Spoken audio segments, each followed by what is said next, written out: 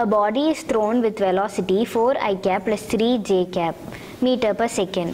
So in body வந்துட்டு velocity ஒரு initial velocity வந்துட்டு four I cap plus three J கேப்பில் த்ரோ பண்ணுறாங்க it's maximum height is so maximum height நம்ம கண்டுபிடிக்கணும். அது வந்துட்டு நமக்கு த பாடி இஸ் த்ரோன் அதோட வெலாசிட்டி கொடுத்துருக்காங்க four I cap plus three J cap so வந்துட்டு நம்ம அப்வர்ட் மோஷனில் இருக்கிற வெலாசிட்டி மட்டும் எடுத்தோம்னா யூவை that is equal to three J cap அப்படின்னு கொடுத்துருக்காங்க. ஏன்னா அதுதான் வேர்ட்டிக்கல் ஸோ அதை நம்ம த்ரீன்னு எடுத்துக்கிறோம்.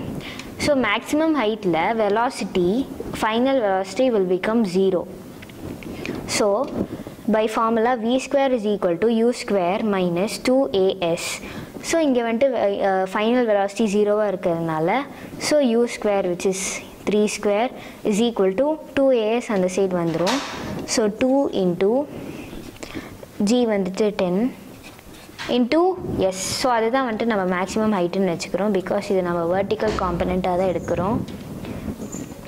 So three square nine is equal to twenty H so therefore H is equal to nine by twenty is is equal to zero point four five அது வந்துட்டு zero point four five metres